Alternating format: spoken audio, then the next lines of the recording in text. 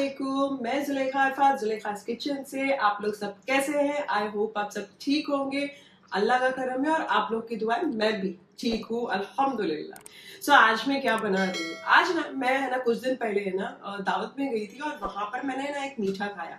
Arabic मीठा था मुझे बहुत पसंद आया। तो मैंने सोचा घर में मैं खुद ही बना लूँ। मैंने सोचा जब मैं खुद बना रही हूँ और मैं मेरे लिए बना रही हूँ तो आप लोगों को दिखाना तो बनता है राइट सो so, आज मैं बना रही हूँ अरबिक डेजर्ट। मैंने आधे लीटर का ही बनाया है।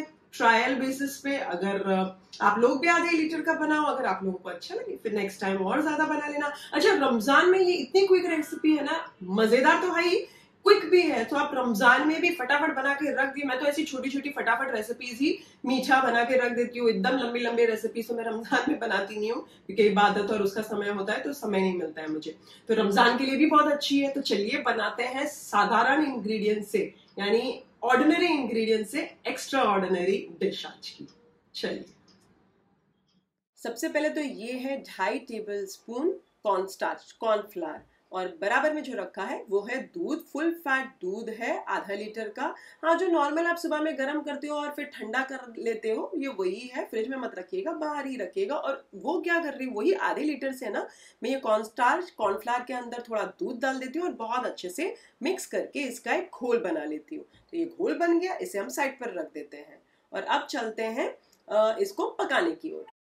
एक पतीली के अंदर जो बचा हुआ दूध है, ये सारा डाल दीजिए। मतलब आधे लीटर में तो थोड़ा ही यूज़ हुआ होगा उसमें। अब डाल दीजिए वन फोर्थ कप भरकर शक्कर डालिएगा। चूल्हा चालू कर दीजिए और मीडियम आँच कर दीजिए और इसमें एक उबाल आ जाने दीजिए। ज़रूरत लगे तो एक से दो बार इसे चला लीजिएगा बीच में।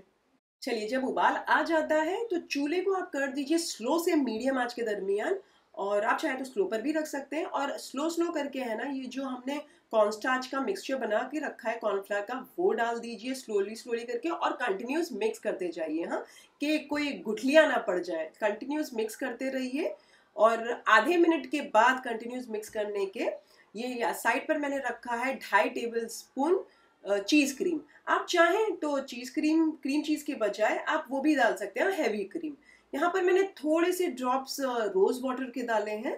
गुलाब का पानी, अगर आपको ज़्यादा डालना है, आप ज़्यादा डालिए। आप वन टीस्पून डाल सकते हैं, आप टू टीस्पून डाल सकते हैं। ये बहुत ज़्यादा एसेंस वाला था तो मैंने थोड़ा सा एक या दो ड्रॉप ही डाला है। इसे बहुत अच्छे से मिक्स कीजिए कि कोई गुठलियाँ ना रहें और ये जो हमने ये डाला है क्रीम चीज़ ये बहुत अच्छे से घुल जाए। तो ये देखिए, तकरीबन एक से दो मिनट तक आपने इसे स्लो से मीडियम आँच तक पकाना है। जब एक से दो मिनट हो जाए, ये देखिए, इस तरीके से टेक्सचर हो जाएगा क्रीमी और सारी चीज़ें घुल जाएँगी। तो अब मिठास चख लीजिए, अगर आपको कम लगे थोड़ी शक्कर डाल के, उसे अच्छा मिक्स कर लीजिए जब तक घुल नहीं जाती शक्कर। अच्छा अब ना दो ढाई मिनट तक पक जाए तो चूल्हे को कर दीजिए बंद और इसे हल्का ठंडा हो जाने दीजिए। जब हल्का रूम टेम्परेचर पे आ जाए तो प्याले में भर दीजिए। आप चाहें तो एक बड़े प्याले में ही डाल सकते हैं। मैंने छोटे छोटे बाउल्स में डाले हैं। जैसे आपने देखा, आधे लीटर के अंदर माशाल्लाह तीन छोटी प्याली निकल आई है और ये देखिए बहुत अच्छे से निकाल दीजिएगा, कोई भी चीज़ बच ना जाए हमारी पतीली के अंदर।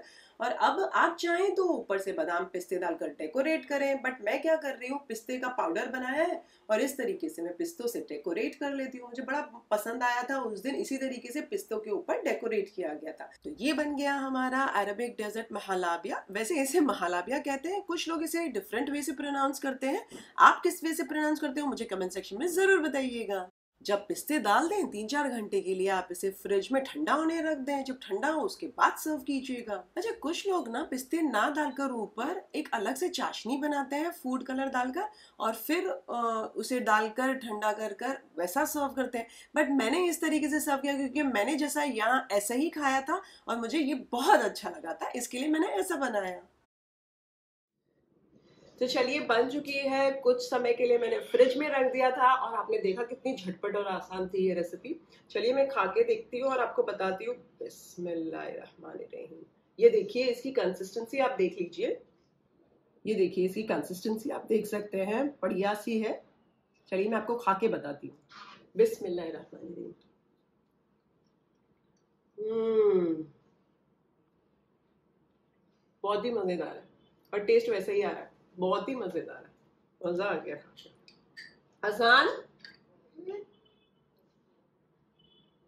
आओ तो। खा के देखो तो। आपको कैसा लगा? मेरे मुँह में तो पानी आ है कैसा लगा? हाँ? मज़ेदार है? अच्छा लग रहा है ना? ठंडा ठंडा?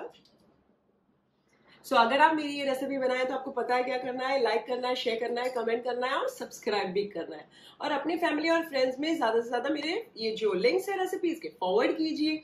अगर आप बनाए तो कमेंट सेक्शन में ज़रूर शेयर कीजिएगा। फिर से हाजिर होंगी एक नई शानदार दमदार रेसिपी के साथ या फिर ब्लॉग के साथ। अंटिल देन टेक केयर अल्लाह हाफिज। एंजॉय ये डेजर्ट